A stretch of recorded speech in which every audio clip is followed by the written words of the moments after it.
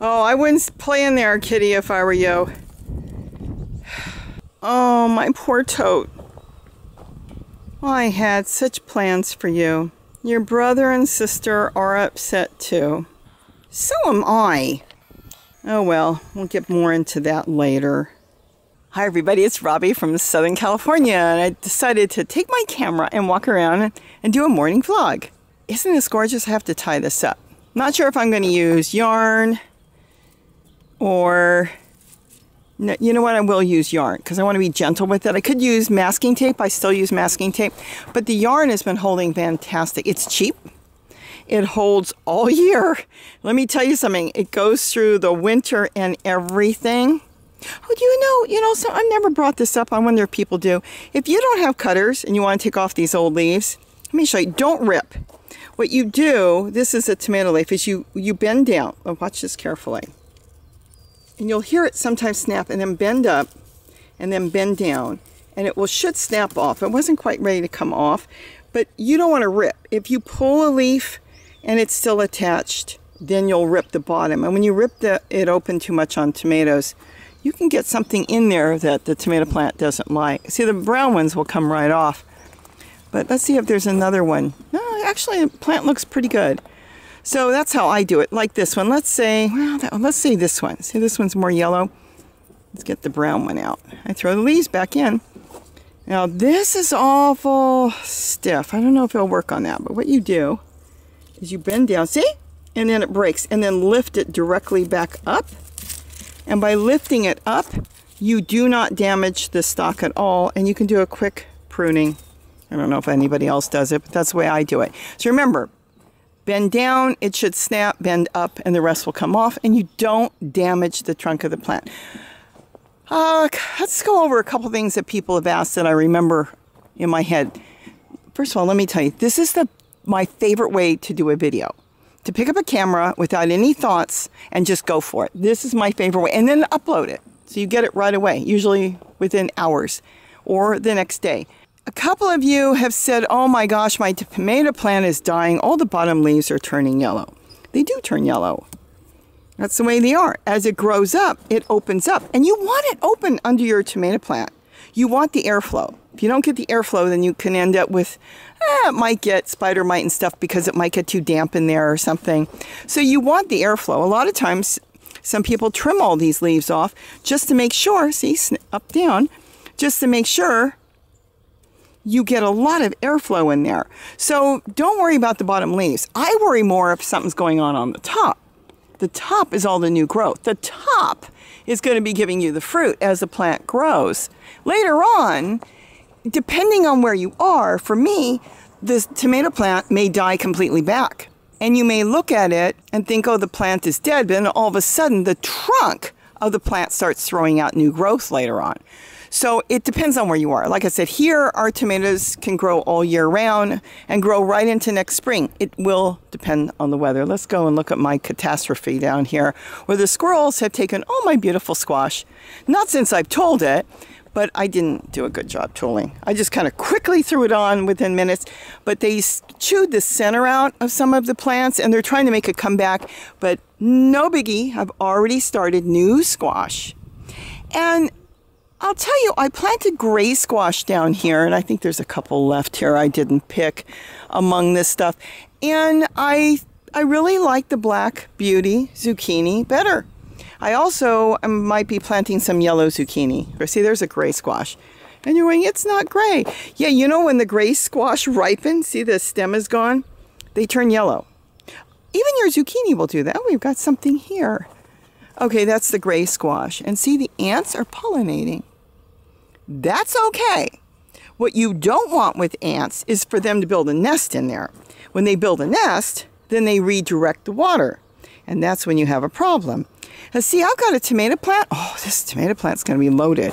I haven't walked down here and looked for a couple days. Well, I walk, but I water and keep walking. Isn't that gorgeous? See, the tomato plant is independent.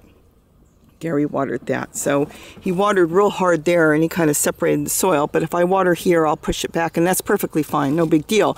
But see how, what I'm actually pointing out, see how the squash has got its own bedroom. and then this one's got its own smaller room. It's got a pot. So though there is holes on the bottom and they can send their roots, they're still independent to a point. And if I quickly walk through here, I gotta have a label. Oh, gray squash. Yeah, I love my labels for my tote lids. That's just letting me know this is a gray squash. If I wanted to, I could just hit that with water. And then the squash will get water from the bottom of that pot. The other thing too is, I don't know if I can lift it now because there might be roots, so I'm not going to try because my main thing is to keep this going for the whole winter. So I'll have tomatoes up against the wall, nice and warm. But the point is it will always be wet underneath, so it can always send its roots under there. But see, even this one that got chewed up really bad has made a comeback. So that's really cool. I've got a yellow squash in there. I want to get that off and compost that because that one is not going to do anything. Can take that one off. I don't think that one's going to do anything either. I might leave that one. What am I going to do with the squash? Compost it. How am I going to compost that? Could push it in with my hands. And I'll be dealing with all the soil under. There we go. compost in place. I've got to sit down and do seed stuff someday. I, I, I love when I watch videos. You must grow baby seeds in seed starter only because the soil is too rich. I love when I read and hear a lot of these things. It's so funny. The soil is too rich. The potting soil that's made up from forest matter, read the label, is too rich. Yes, I know. Let's walk over here. That they add in some plant food sometimes. Too rich. You know how I've been growing for years. I literally will take kitchen scraps, like this one's brand new, and just dump it in there like it's up. Well, here we go. Here we go. I, honest, honest to goodness, I had no idea. Kitchen scraps dumped in here. I haven't even put any soil. Now, you don't think all the kitchen scraps and the squash that was rotten and all that isn't rich? That's the funniest thing. You're to think she staged it. I don't stage anything. I, like I said, I Gary watered this for me. I'll, I'll tell you what's going on. I refused to come out here the other day. My neighbor's got three great big Great Danes who have been persistent to leap the fence and come into my yard.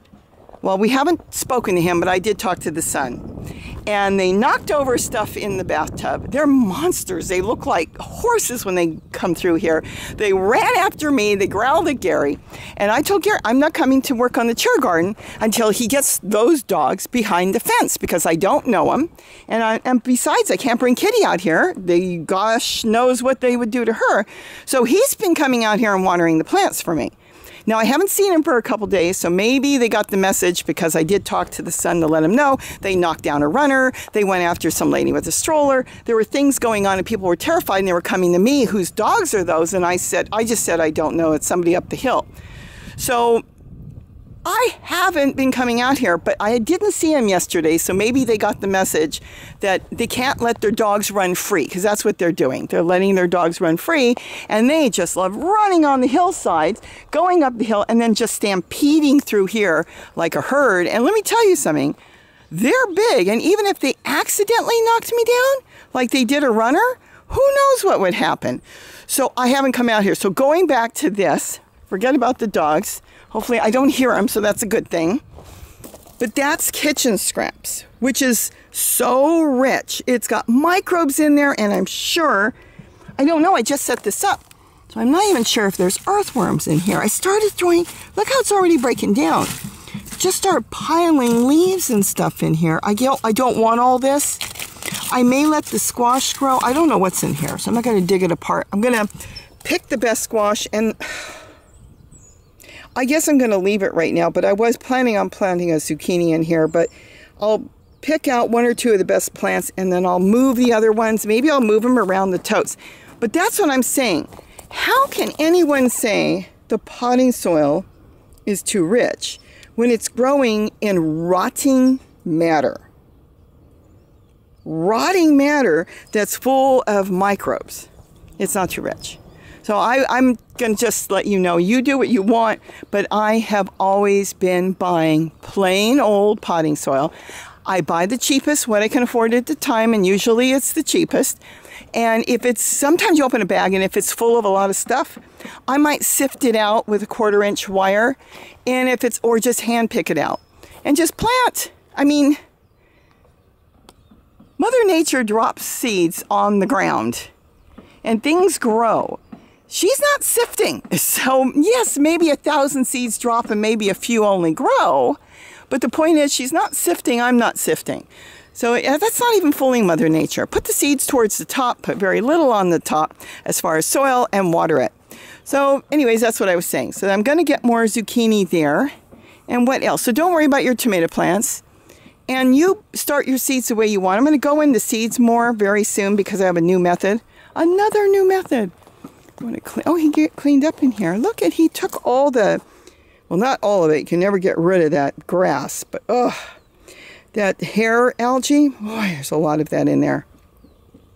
But anyways, you plant the way you want and experiment because something that works fantastic for me absolutely may not work for you. And that's what I always say. I'm not trying to tell anybody what to do. I'm just telling you what I do. Now, I may do the craziest things. And you would go, she's crazy. I wouldn't do it that way. And then you try it. so you know, you, I'm trying to spark something, get a light bulb on, and go, wow, I think I could do it this way. I don't like the way she does it. I'm going to do it this way. That's what I want you to do. Here, I've talked about what I'm going to do here is, and I haven't gotten to it yet, and that's okay. I'm still not 100% what I'm going to do. I'll probably know more when I get down here and make sure those Danes are not coming down the hillside after me. I think I'm going to clear all this out. I've talked about it. It's so it's so hard for me to clear it out because I mean it went to seed. This is the uh, the Swiss chard, the red red vein Swiss chard, and I know it's going to be gorgeous if I leave it. So I might leave a couple, and then I might just chop it all you know chop it all back down and let it fall on the bottom. It'll break down into its own soil. And like I said, I'm going to line it with buckets. This is the first bucket I put in here, and these are tomatillos that I did not plant. I hadn't planted anything in here and they all started growing. So I'm leaving that. And then I'm going to put these buckets in there. And these buckets have, some have holes on the bottom. And there might be a few that have holes on the side. But these have holes on the bottom. Because the whole idea is I want them to send some of their roots down. And I want the earthworms to go back and forth because I'm not dealing with gophers in here. If I've got gophers coming up into a truck bed, I got bigger problems then. They'll have gophers everywhere. No, there's no gophers in here. I had something that created a stairway once for rabbits to get in. They had some babies in the corner, so I couldn't water. That was, I think, two years ago only. So that's what I'm doing in here, and then here I'm not doing anything. You see my apple trees. These are just seedlings. I should shape them and stuff. It's mainly for fun. They were growing. It was either compost them down or plant them, and I stuck them in floral pots. The bottoms have big holes, so the pots eventually will break away. That one's not even in a floral pot. I don't think that one is either. Neither is that little one that got chewed to the ground that's still insisting on making a comeback. And then, of course, that's my nectarine tree. So we'll see what happens with that. Who knows? Maybe I'll get, become a master in grafting. And then I have to get in here, and I still am not sure. I love this. Can you imagine? It's been set up over a year. How many of you came in? Actually, it wasn't that many saying, Oh, I give it three months, it's going to crumble to the ground. Mm, nope. Nope. And if one of them did, it would be no big deal. But nope, nope. That chair, though, I think I bought that chair. Gee, I, I talked about it. It's 19. It wouldn't be 88, probably 1990, maybe 92 or 93. That's an old, old chair. And I had another one that broke just the seat out of it. And I, I think Gary threw that one away. And then I felt bad because the structure of it, the legs were still good. And it could have still sat on there because the back was there. It was just the center seat. But that's okay. That one I never painted. It came dark blue. It was an umbrella set. That's, look at all the tomatoes. I had it strung up and I think we had some wind. And then of course I showed you this on the garden tour. I don't know what kind of squash it is, but I got some squash that looks yellow. Mm, cool. So I'm going to clean this up and do that. So what else was I going to talk about? That's it. Don't worry. I'm getting right away to how I make my plant food.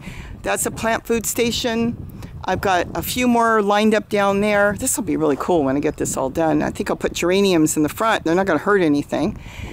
And I'll show you how I do it. I do it the same way. i have got videos on how I make compost tea or plant food. And that's the thing is it's not changed. It's still the same way. I'm just making it different to make my life easier. There's different ways of doing things to make things easier. So I'm planning on getting to this real soon. Look at the weather today. They even said it might rain, Gary said. So we'll see if it really does rain. They said that about a week ago and we didn't get any rain. But that's it. I thought I would just say hello. Oh, and about the death of a tote. Let's go look at that. My totes are so old, some of them. My first big video was made with this tote. Look at that, still going strong, a little tote with handles. Is you can do this by every day. You could put in stuff every couple days. That's quite cute. I should actually clean that up and use that for lettuce. So if it gets too hot and sunny, I can lift the lettuce and move it somewhere. Might do that because I'm not sure yet what I'm going to do with it. Look. There are many ways to break a tote. You can leave an empty tote out in the sun. I've told you that. And then it will dry up and it will break. Basically, they don't break. I've got totes here that are old, but that one broke. I guess I can say how.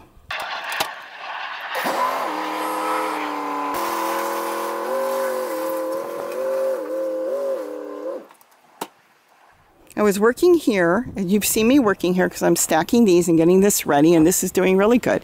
And I asked Gary, Are you driving in and out of here, are my totes in your way? No. I said, Are you sure? He goes, A bucket was. He moved a bucket. I guess that was in the way. So I said, All right, I come out here, and there it is. I said, What happened to the tote? He said, I think I clipped it he thinks. In other words, he ran over my tote. So, anyways, we're one tote down. So, do I save the tote? Do I push it up against the wall and try to do? Look at this, it's still in good shape. I can always put it, if I put the tote in another tote, here's the problem. And it could be done, but I probably won't do it. You create a wall and a place where the plants won't grow because that's how, let's say, is bigger and it would be nice, but you're creating a wall. Now you'll end up with critters in there, things you don't want. Snails could get in there, slugs could get in there, earwigs could get in there. You could have tons of roly polies, far more than what you need. So the odds are my tote will be going in the trash. I don't know what else I can do. Unless I cut the bottom and just use the bottom as a tray. I might do that after I get the soil out. The reason I didn't move anything is I'm removing some of this soil because it was, you know, made from my own plant matter. And I want to get it all into these totes here so I can get squash planted right away. That's my goal right now.